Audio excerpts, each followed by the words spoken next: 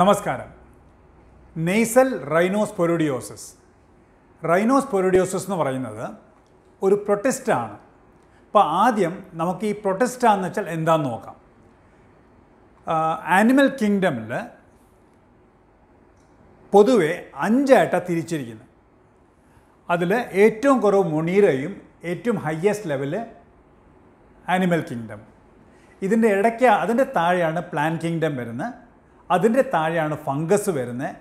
ഇപ്പോൾ ഫംഗസിന്റെ മുമ്പേ ഉള്ള ഒരു എവല്യൂഷണറി സ്റ്റേജാണ് പ്രൊട്ടസ്റ്റ എന്ന് പറയുന്നത് ആ പ്രൊട്ടസ്റ്റയിൽ വരുന്ന ഒരു ഓർഗനിസമാണ് ഈ റൈനോസ്പെറിഡിയം സീബെരി എന്ന് പറയുന്നത്. ഇത് മനുഷ്യരിൽ കയറിക്കഴിഞ്ഞാൽ പ്രത്യേകിച്ച് മൂക്കിൽ അത് നെയ്സൽ റൈനോസ് പ്രൊഡ്യൂസേഴ്സാണ് ആണ് നമ്മൾ ഡിസ്കസ് ചെയ്യാൻ പോകുന്നത്. കയറിക്കഴിഞ്ഞാൽ അതിനകത്ത് എന്തൊക്കെ ചേഞ്ചസ് വരും അവർ എങ്ങനെയാണ് പ്രസന്റ് ചെയ്യുന്നത് നമുക്ക് നോക്കാം. ഇപ്പോൾ പ്രൊട്ടസ്റ്റ എന്തെന്ന് ഞാൻ പറഞ്ഞു. ഇപ്പോൾ ഈ റൈനോസ്പെറിഡിയം സീബെറി എന്നുള്ളത് അത് രണ്ട് ടൈപ്പ് ആയിരിക്കാം. ഒന്ന് സ്പെസിഫിക് ആയിട്ട് ഒരു ഒരു പാട്ടിൽ മാത്രമേ കാണത്തുള്ളൂ. അതായത് മൂക്കിൽ മാത്രം ഇല്ല മൂക്കിന്റെ ബാക്കിൽ മാത്രം ഇല്ലെങ്കിൽ മൂക്കിന്റെ മൂക്കിലും മൂക്കിന്റെ ബാക്കിലും ഒന്നിച്ച് കാണും ഇല്ലെങ്കിൽ കണ്ണിൽ കാണാം. ഇതെല്ലാം ബിനൈൻ ടൈപ്പ് എന്നാണ് പറയുന്നത് പക്ഷേ ദേഹം മൊത്തം പടർന്ന് നിൽക്കുവാണെങ്കിൽ അത് മാലിഗ്നൻ എന്ന് പറയും. അത് ക്യാൻസർ ആയിട്ട് എടുക്കരുത്. മാലിഗ്നൻ വെച്ചാൽ അത്യ സീരിയസ് ആണെന്നാണ് അർത്ഥം ഇതാണ് ഇതിന്റെ രണ്ട് ടൈപ്പ് ഇപ്പോൾ ഇതിന്റെ ലൈഫ് സൈക്കിൾ അപ്പോൾ റൈനോസ്പെറിഡിയം സീബെറി എന്നുള്ളത് അതൊരു ട്രോഫോസൈറ്റിൽ ട്രോഫോസൈറ്റ് ആയിട്ടിരിക്കുമ്പം അകത്തൊരു ന്യൂക്ലിയസ് ഉണ്ട്. ഇതിൽ കാണുന്ന പോലെ ഒരു ന്യൂക്ലിയസ് ഉണ്ട്. അതിനകത്ത് തിക്ക് കവറിങ് ഉണ്ട്. ആ തിക്ക് കവറിങ്ങിൽ അകത്ത് ന്യൂക്ലിയസ് ഡിവൈഡ് ചെയ്ത് ഡിവൈഡ് ചെയ്ത് റീപ്രൊഡക്ഷനെ ഡിവൈഡ് ചെയ്ത് ഡിവൈഡ് ചെയ്ത് ഇത്രയും ഒരുപാട് സ്പോസ് ഉണ്ടാക്കും. അതിന്റെ സൈസ് കൂടി കൂടിക്കൂടി കൂടി കൂടി വരും. അത് മാക്സിമത്തിൽ എട്ടുമ്പം ആ സ്പോസ് പൊട്ടി കംപ്ലീറ്റ് റിലീസ് ചെയ്യും. റിലീസ് ചെയ്ത് ഓരോ സ്പോറും ഓരോ റൈനോസ്പീഡിയം സീബറി ആയിട്ട് റിലീസ് ചെയ്യുന്നതായിരിക്കും. അപ്പം നമ്മൾ മനുഷ്യരില്ലാതെ എങ്ങനെ വന്ന് പെടുന്നു? അപ്പോൾ അതിനു മുമ്പേ സാധാരണ ഞാൻ ഇപ്പോൾ നമ്മൾ ഡിസ്കസ് ചെയ്യുന്നത് മെയിനായിട്ട് നെയ്സൽ മൂക്കിന്റെ റൈനോസ്പെഡിയമാണ് സാധാരണ മൂക്കിനകത്തുള്ള പി എച്ച് ചെറുതായിട്ട് വേരി ചെയ്തുകൊണ്ടിരിക്കും. അപ്പോൾ ഏത് പേഷ്യന്റിനോ ഈ റൈനോസ്പോഡിയം മൂക്കിനകത്ത് കയറുന്നോ അതിന്റെ പി എച്ച് സെയിം ആക്കും.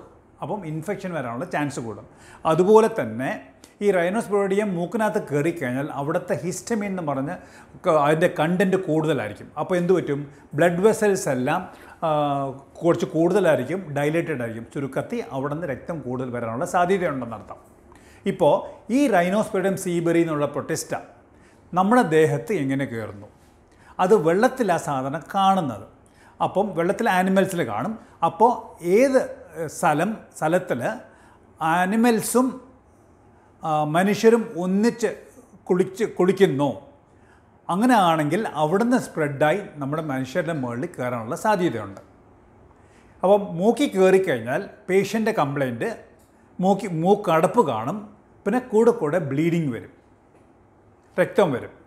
അപ്പോൾ മൂക്ക് നമ്മൾ എൻഡോസ്കോപ്പി വെച്ച് നോക്കിക്കഴിയുമ്പം നമ്മൾ ഇതുപോലെ ഇത് ഒരുപാട് കൂടുതലായി മൂക്കിന്റെ വെളിയിൽ വരുന്നു. പക്ഷേ സാധാരണ മൂക്കിനകത്താണ് കാണുന്നത് അപ്പോൾ അതുപോലെ ഒരു ഗ്രാനുലാർ ടിഷ്യൂ അതിന്റെ ശ്രദ്ധിച്ച് നോക്കിക്കഴിഞ്ഞാൽ ഒരു വൈറ്റ് അല്ലെങ്കിൽ യെല്ലോ യെല്ലോ സ്പോട്ട്സ് കാണും. പിന്നെ അത് തൊടുമ്പം അത് രക്ത അവിടെ നിന്ന് ബ്ലീഡിങ് വരാനും ചാൻസും ഉണ്ട്. അപ്പോൾ ഇതിന്റെ ഇൻവെസ്റ്റിഗേഷന് നേർ ബയോപ്സിയാണ് ബയോപ്സി ഒ പി ഡി വെച്ച് എടുക്കത്തില്ല. ഇതിന്റെ ട്രീറ്റ്മെന്റ് എന്ന് പറഞ്ഞാൽ മെയിനായിട്ട് മൂക്കില്ലാത്ത ഉള്ളതെല്ലാം നമ്മൾ ഇളക്കണം. ആ പോളിപ്പ് മൊത്തം ഇളക്കണം. ആ മാംസം ഇളക്കണം. അപ്പം ഓപ്പറേഷൻ ചെയ്യണമെന്ന് ചുരുക്കം. അപ്പോൾ ഓപ്പറേഷൻ ചെയ്യുന്ന സമയത്ത് ഓപ്പറേഷൻ തിയേറ്റർ വെച്ച് അതിന് ബയോപ്സി എടുത്ത് അയക്കുന്ന അയക്കണം. അപ്പം ബയോപ്സി ആണ് മെയിൻ ട്രീറ്റ്മെന്റ് അതിന് സ്പെഷ്യൽ സ്റ്റെയിൻസ് ഒക്കെ ഉണ്ട് അതിലോട്ട് കിടക്കുന്നില്ല. പിന്നെ തിയേറ്ററിൽ കൊണ്ടുപോകുമ്പോൾ ഓപ്പറേഷൻ കൊണ്ടുപോകുമ്പോൾ സി ടി സ്കാൻ എടുക്കും. അത് കഴിഞ്ഞ് ഓപ്പറേഷൻ തീരുമാനിച്ചു കഴിഞ്ഞാൽ ആ മാസം മൊത്തം മൂക്കി നിളക്കും ഇളക്കിയിട്ട് എവിടുന്ന് സ്റ്റാർട്ട് ചെയ്യുന്നു എന്ന് നമുക്ക് തോന്നുന്നുണ്ടോ? അതിന്റെ ബേസ് നമ്മളൊന്ന് കോട്ടറൈസ് ചെയ്യും. എന്തിനാണെന്ന് വെച്ചാൽ തിരിച്ചു വരാതിരിക്കാൻ വേണ്ടി. അപ്പോൾ നേരത്തെ ഞാൻ പറഞ്ഞു എന്തുകൊണ്ടാണ് ഇതുപോലെ കണ്ടീഷൻസ് ഒരുപാട് ബ്ലീഡ് ചെയ്യാൻ കാര്യം എന്താ? ഹിസ്റ്റമിൻ കണ്ടന്റ് കൂടുതൽ. അതുകൊണ്ട് ഓപ്പറേഷന് കൊണ്ടുപോകുന്ന മുമ്പേ നിങ്ങൾ ട്രീറ്റ് ചെയ്യുന്ന ഡോക്ടർ ബ്ലഡ് അറേഞ്ച് ചെയ്യാൻ പറയും. അപ്പോൾ നിങ്ങൾ ബ്ലഡ് അറേഞ്ച് ചെയ്യുന്നതായിരിക്കാം.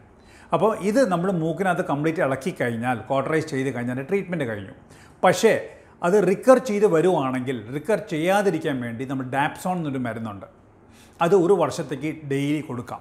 തിരിച്ച് വരാതിരിക്കാൻ നോക്കാൻ വേണ്ടി. ഇല്ല റിക്കറൻസ് കേസ് മാത്രമല്ല ദേഹം മൊത്തം സ്പ്രെഡ് ആവുന്ന കേസിൽ പോലും ഈ ഡാപ്സോൺ കൊടുത്താൽ റിക്കറൻസ് തിരിച്ചു വരാതിരിക്കാൻ തിരിച്ചു വരാതിരിക്കാൻ വേണ്ടി നോക്കാനുള്ള തടയാനുള്ള സാധ്യതയുണ്ട്. അപ്പോൾ ഇങ്ങനെയാണ് റൈനോസ്പോരിഡിയസ് റൈനോസ്പോഡിയോസിസ് നെയ്സൽ റൈനോസ്പോഡിയസ് നമ്മൾ ട്രീറ്റ് ചെയ്യുന്നത്. നമസ്കാരം.